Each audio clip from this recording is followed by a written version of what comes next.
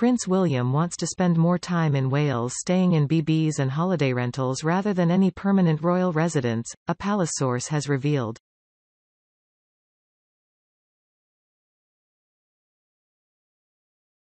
The new Prince and Princess of Wales have no plans for a property there but will support the tourist economy by renting cottages and booking bed and breakfast rooms.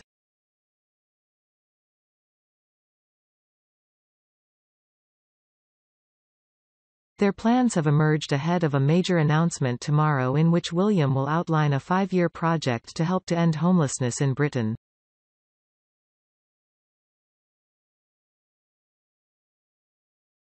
Sources close to William, who has discussed his campaign with senior politicians from all parties, describe it as a major intervention.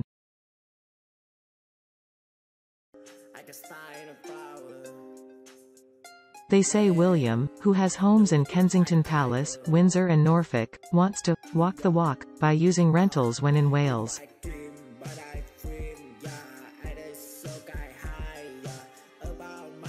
However, his plan may be controversial. A report last year by the Welsh Parliament pointed to a link between holiday home ownership and high house prices.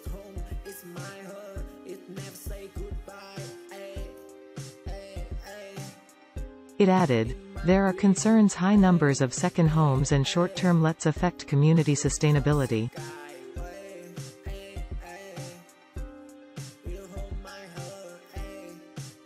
As locals move away due to the lack of affordable housing, towns and villages risk becoming increasingly empty outside of the holiday season.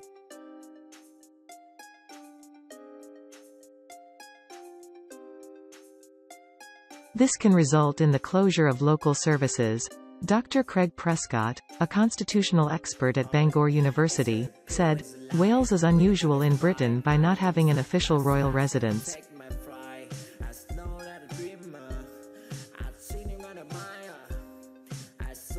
The king got around this by having his own property here.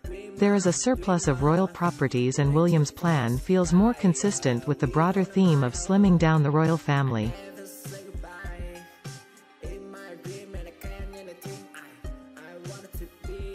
It also gives the couple a chance to become more acquainted with different parts of Wales, as the north and south are distinct areas.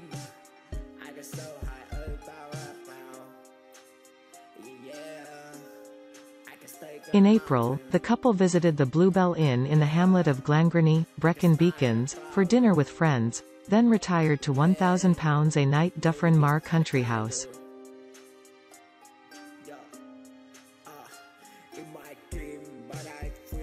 Rental website Airbnb calls it a beautifully renovated large country house, sleeping 16.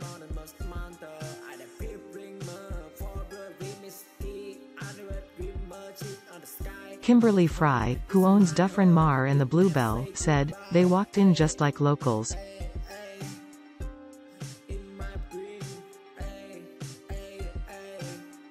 They had a reservation and we kept it quiet, but the locals in the pub were very surprised to see them.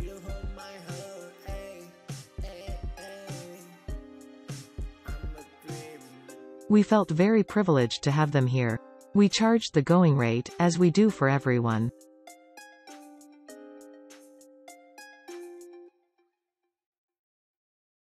Single quote